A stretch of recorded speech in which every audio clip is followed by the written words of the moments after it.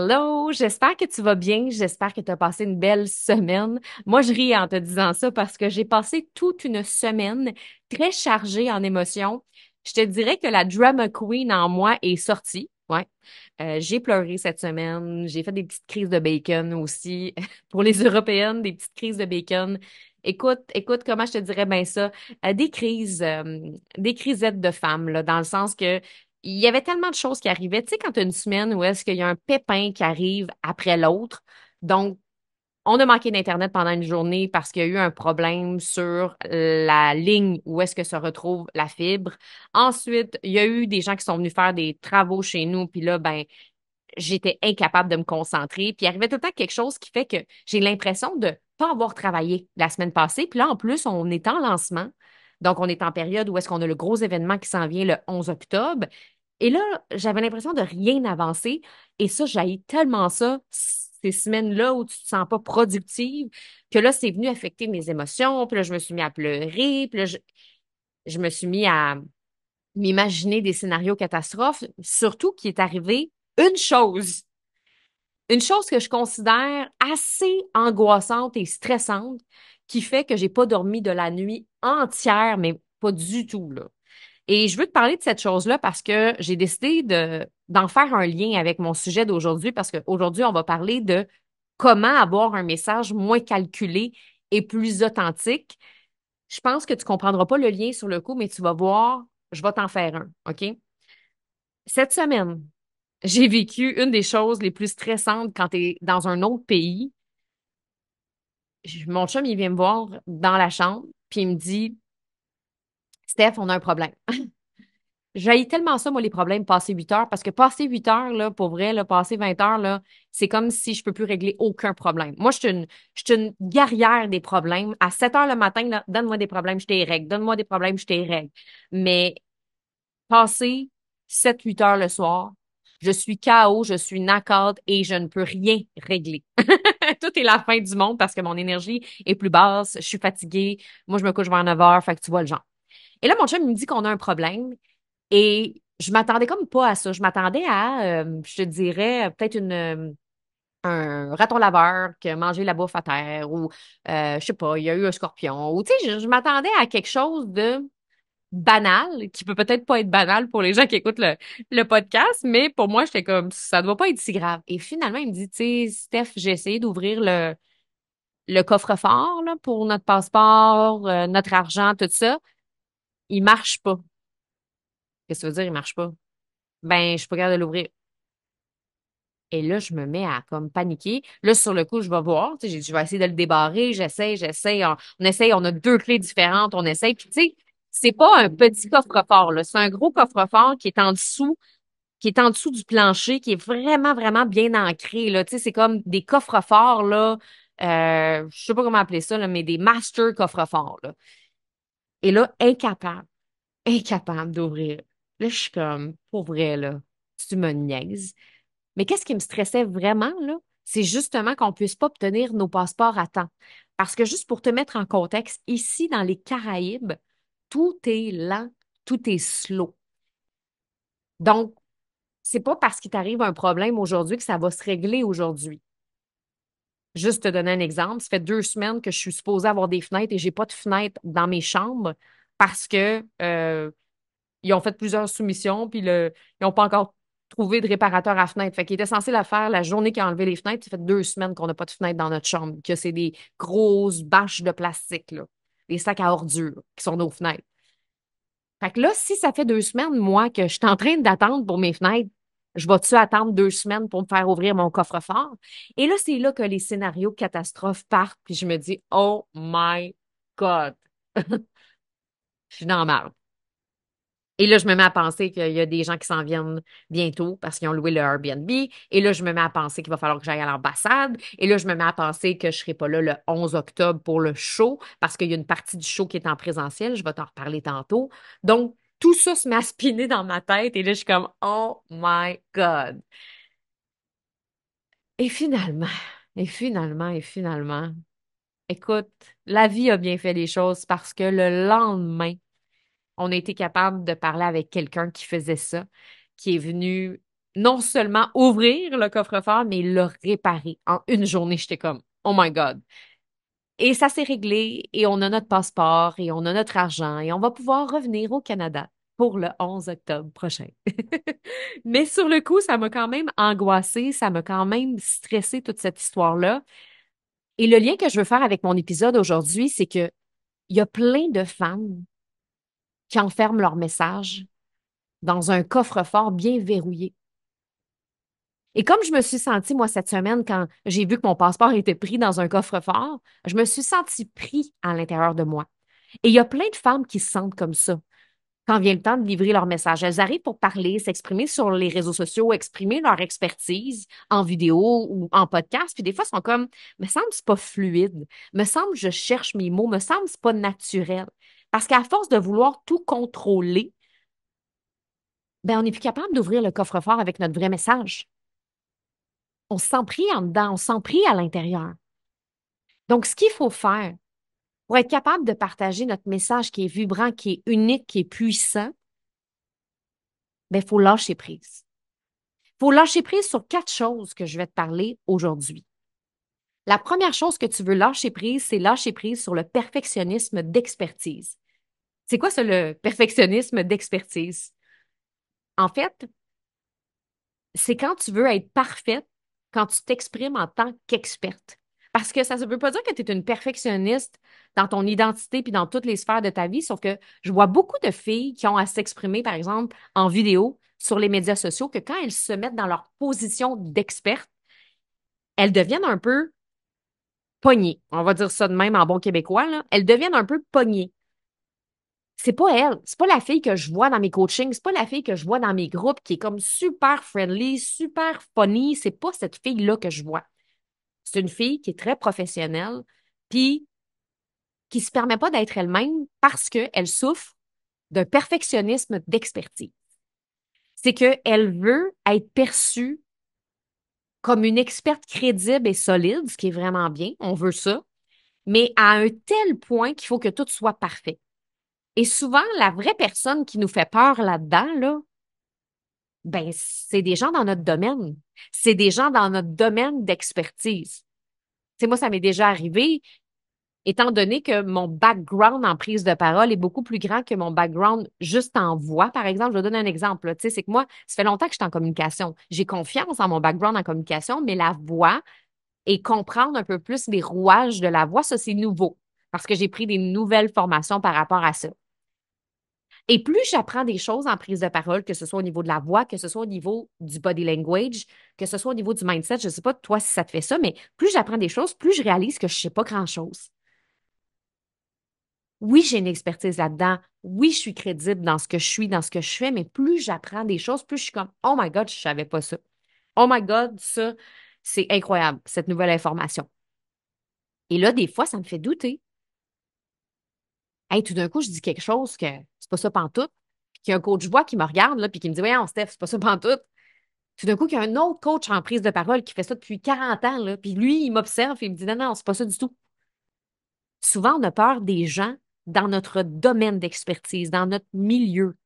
On n'a pas peur de Jacques puis de Guy puis Guylaine. Guy puis Guylaine sont un couple, eux autres. C'est pas eux qu'on a peur.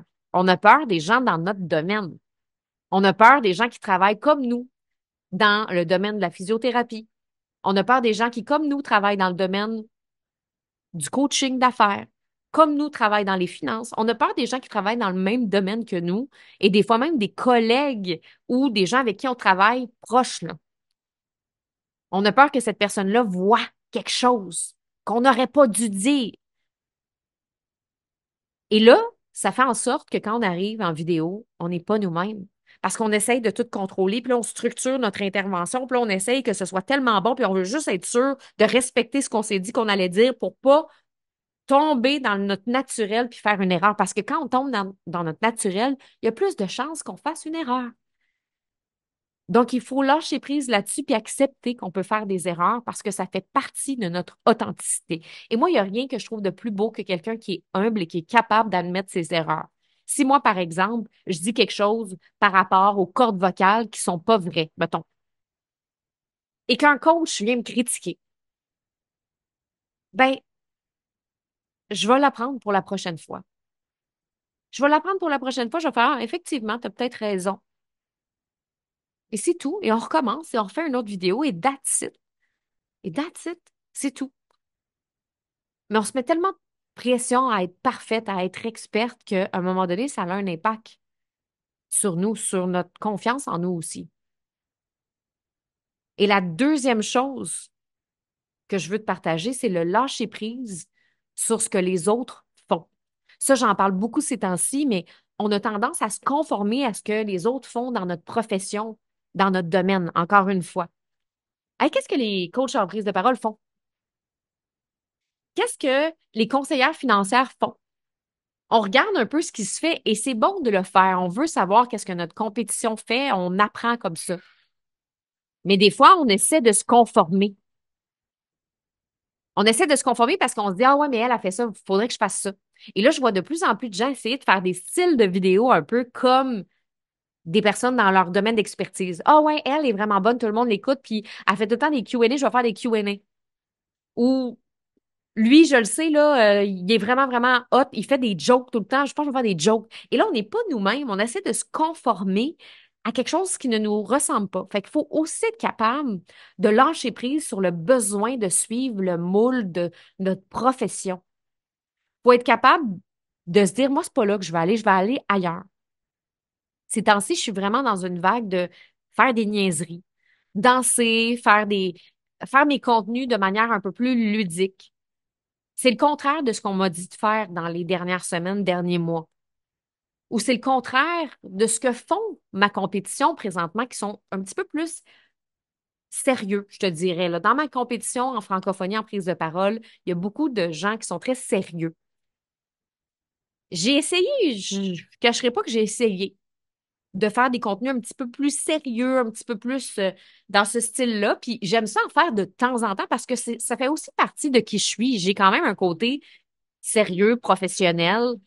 Puis j'aime mettre de l'avant ce côté-là. Mais si je mets juste de l'avant ce côté-là, il manque quelque chose d'autre. Et moi-même, je me suis conformée dans ce mot-là récemment. Je m'en suis rendu compte. Il faut être capable d'avoir ce recul-là. On peut tout tomber dans le piège. Même moi, après toutes ces années d'entreprise, en fait, ça fait pas tant longtemps même que j'ai une entreprise, je dis ça. je suis comme, euh, ça fait juste 4 ans, 5 ans que j'ai ma business, là. On va se calmer le pompon. Mais ce que je veux dire, c'est qu'après tout, on va dire, mes milliers de contenus, tiens, je pense que ça, c'est plus approprié. Après tous mes milliers de contenus, où est-ce que moi-même, j'ai appris à être moi puis à utiliser ma voix, moi aussi, je me suis perdue là-dedans. Puis moi aussi, je regardais ce que les gens faisaient. Puis moi aussi, je me suis dit, crème, faudrait que je fasse ça moto. Puis finalement, tu te rends compte que crème, c'est pas moi. C'est pas, c'est pas qui je suis dans la vie. Tu sais, là, si je regarde, là, mon enfance puis mon adolescence, là, je faisais des sketchs, tout le temps des sketchs. Je faisais des petits sketchs, là. J'étais toute seule, enfant unique, là. Puis oui, j'avais mes amis avec qui j'essayais d'embarquer mes amis dans des sketchs, mais quand j'étais toute seule chez nous, là, je pouvais passer cinq heures devant une caméra. Puis dans ce temps-là, il n'y avait même pas de réseaux sociaux. Je pouvais passer cinq heures devant une caméra, puis je me déguisais. Des fois, je me mettais une tuque, puis là, je jouais un personnage. Euh, je j'aimais me déguiser puis jouer des personnages, puis il n'y avait pas de but, là. pas, pas en tout, là. Et j'aimais tellement ça, jouer la comédie, parce que j'aimais tellement le théâtre, j'aimais tellement l'impro, puis aujourd'hui, c'est les contenus que j'aime le plus faire. Faire des niaiseries, me mettre dans la peau d'un personnage. Mais là, ce qui est le fun, c'est qu'aujourd'hui, je peux le faire puis monétiser ces contenus-là, puis monétiser ces prises de parole-là, puis ces vidéos-là. Donc, lâche prise sur ce que les autres font. C'est comme ça que tu vas être capable de vraiment partager ton message. Le vrai là, que tu as à dire. C'est ça qui fait que ça va marcher. Ensuite, lâche prise sur le contrôle de l'image.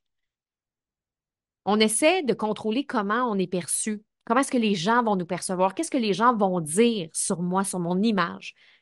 Puis des fois, on essaie tellement de maîtriser tous les détails que ça limite notre spontanéité puis notre authenticité. C'est sûr que moi, il y a des moments où est-ce que je vais contrôler un peu plus mon image quand c'est des gros événements si je fais un événement en présentiel, si j'ai un photoshoot euh, professionnel, c'est sûr que là, je vais contrôler un peu plus mon image parce que je suis dans un, concept un peu plus de branding. Mais je me rends compte que mes vidéos qui pognent le plus, souvent, c'est quand je prends mon cellulaire puis je suis à la plage puis je décide de dire ce que je pense. Ou quand je suis dans mon bureau puis là, je décide de faire une niaiserie puis là, je décide de le poster. Donc, au bout du compte, c'est ma voix authentique qui remporte tout le temps. Et même plus des fois que des concepts réfléchis de branding incroyables. Je dis pas que ça marchera pas, mais c'est pas juste ça qui marche. Donc, à un moment donné, tu peux pas t'empêcher de faire quelque chose de spontané parce que merde, tu t'es pas coiffé. Ah merde, t'as pas euh, encore reçu ton veston que tu viens de te commander. Ah, ouais, mais là, t'as pas une caméra professionnelle extraordinaire. J'écoutais une entrevue de Adam récemment, là, qui est le PDG de Instagram. Puis il était avec une influenceuse. Je pourrais pas te dire le nom de l'influenceuse, je la connaissais pas, mais c'est une grande influenceuse qui a des millions d'abonnés sur Instagram. Je suis allée voir son compte par curiosité. Puis toutes les vidéos qu'elle fait où elle prend la parole, justement, c'est tout du raw, spontané, dans son salon, dans sa cuisine. Puis c'est vraiment, vraiment ça. Il n'y a pas de vidéo euh, incroyable filmée pendant des heures. C'est juste très naturel. Donc, on peut réussir comme ça, en étant authentique, en étant vrai, en disant les vraies choses qu'on a à l'intérieur de nous. Et le dernier que je veux te partager, c'est le lâcher prise. Et j'en ai déjà parlé dans d'autres épisodes de podcast parce que je trouve que c'est un point important. C'est lâcher prise sur le besoin d'être validé. C'est clair qu'on a un besoin profond d'obtenir l'approbation des autres. On veut que les gens nous aiment. Que ce soit notre audience quand on fait une vidéo, que ce soit même nos proches, on veut savoir ce qu'ils en pensent. Qu'est-ce que tu penses si je vais partager ça sur scène, mettons, pour les filles qui font des conférences? Et ce besoin de validation, bien, il se manifeste de plusieurs façons. On attend des retours positifs. On veut savoir comment les autres réagissent. Et là, ce que ça fait, c'est qu'on veut ajuster notre message en fonction de ça mais on, le dilue, en fait. C'est plus le message d'origine. Les gens qui nous écoutent ont leurs propres croyances, ont leurs propres opinions, ont leurs propres peurs. Fait que quand on fait écouter une conférence à quelqu'un, ça se peut qu'elle n'aime pas ça, puis qu'une autre personne n'aime pas ça. Et moi, là, ça m'est arrivé dans des coachings de prise de parole où est-ce que j'avais une cliente qui a dit Écoute, je l'ai fait, euh, j'ai fait ma conférence devant mon, mon conjoint. Puis il me dit telle affaire, puis je l'ai faite devant une amie, puis elle me dit telle affaire, puis là, euh, je l'ai faite devant ma mère, elle me dit telle affaire, puis honnêtement, je, suis tout mêlée. Je suis tout mêlée parce qu'ils ont tous dit des choses différentes. Normal. Son chum, c'est juste un gars. Donc, euh, il y a une perception différente. Pas juste parce que c'est un gars, mais, tu sais, il y a son point de vue masculin. Ensuite, ton ami, qui va avoir un point de vue. Puis là, après, ta mère, qui a d'autres croyances, qui a d'autres peurs. Puis là, elle arrive en coaching et tout mêlé, mais je suis comme, recentre-toi sur ce que tu voulais partager au départ. C'est quoi le message qu'il y a dans ton coffre-fort, là? Celui que tu veux partager au plus profond de toi-même, au plus profond de ton cœur. C'était quoi au début, là? Juste, juste qu'on se remette à la conversation numéro un qu'on a eue. Parce que je te le dis, là. Souvent, le message d'origine, c'est le premier. Celui qui, dans une conversation, ressort mais qui est dilué par toute la validation des autres. Ouais, mais tu devrais faire ça de même. Ouais. Ah, je trouve ça trop cru quand tu penses ça. Combien de filles qui m'ont dit je trouve, je trouve que c'est trop cru. Ah, j'ai euh, ma mère, elle me dit que je devrais pas trop partager mes émotions. Ah, parfait, on va diluer, on va diluer, on va diluer jusqu'à temps que ton message. Ah, ben c'est parfait. Maman, t'aimes pas ça? Tu trouves que je partage trop mes émotions? Parfait. Je vais arrêter de les partager. Et là, mon message va devenir plate, plate, plate. C'est ça qui arrive c'est qu'on dilue notre message pour faire plaisir aux autres.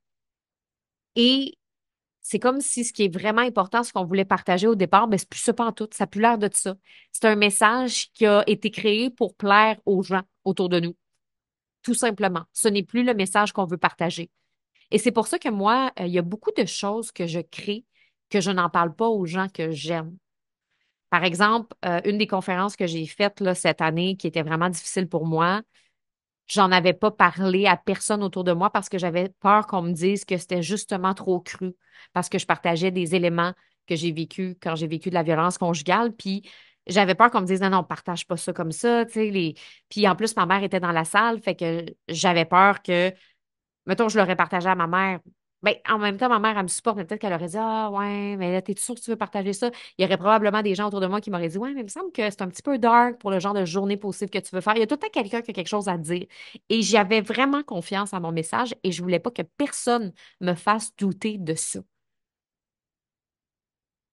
Donc, t'es pas obligé d'en parler. Moi, souvent, là, il y a des filles qui sont dans mes processus de coaching, je leur dis Pas obligé d'en parler tant qu'on n'a pas finalisé ta structure. Parce que au début, quand on crée quelque chose, quand on crée une structure pour une vidéo, un live, une conférence, peu importe, un speech qu'on veut faire, déjà au début, on n'a pas confiance à 100% parce qu'on est en train de le créer. Fait que si on commence à aller demander de la validation à droite, à gauche, ben ça va juste venir diminuer notre sentiment de sécurité. Fait qu'il faut renforcer notre sentiment de sécurité en premier.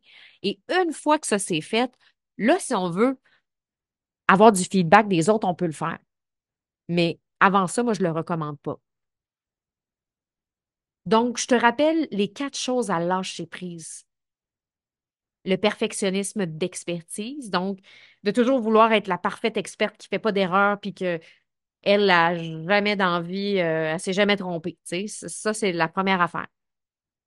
Deuxième lâcher prise sur ce que les autres font. Arrête de regarder ce que, ce que les gens font. Tu peux regarder si tu veux, juste pour voir ce que tes compétiteurs font, mais fais pas la même chose. Fais ce que toi, tu as envie de faire. Lâche prise sur le contrôle de l'image. Si tu as une idée spontanée d'une vidéo, d'une story, d'un podcast, puis ce n'était pas prévu dans ton plan, go for it. C'est peut-être le meilleur podcast de ta vie. Et quatre, lâche prise sur le besoin d'être validé.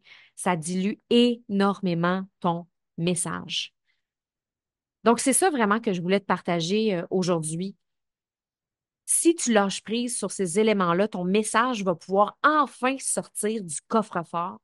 Et c'est comme ça que tu vas être authentique puis que tu vas être toi. Puis en ce moment, je trouve qu'il y a tellement de trucs qui se passent sur les médias sociaux, puis il y, a, tellement de gens qui s'expriment qu'on se perd là-dedans à un moment donné, puis on veut retrouver notre vraie voix, La, la voix là, puissante qu'on a toujours eue ou celle qu'on a à l'intérieur de nous puis qu'on n'ose pas partager.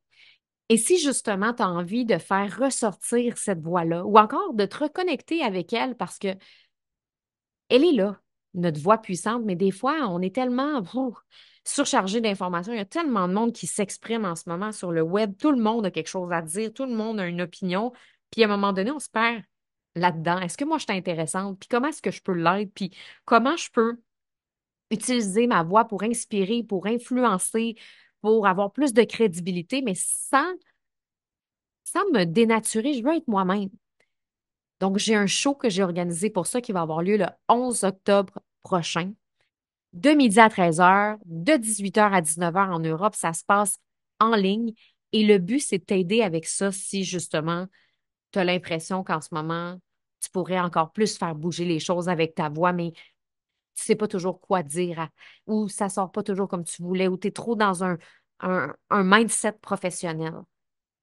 Donc, c'est ça qu'on va faire le 11 octobre prochain. Et là, j'ai reçu déjà des questions, je te dirais, sur Instagram. Il y a des gens qui me disent OK, là, Steph, c'est-tu en présentiel ou en ligne? OK, je t'explique. C'est que moi, le 11 octobre prochain, j'ai invité mes clientes à une journée d'atelier de prise de parole. Donc, mes clientes des communicatrices flyées qui se terminent bientôt et des oratrices, je les ai invitées. Et j'ai décidé, tant qu'à avoir un public, de faire ma masterclass la même journée. Fait que de midi à 13 heures, c'est la masterclass qui va être diffusée en ligne. Fait que toi, tu peux t'inscrire avec le lien justement dans les notes de l'épisode de podcast.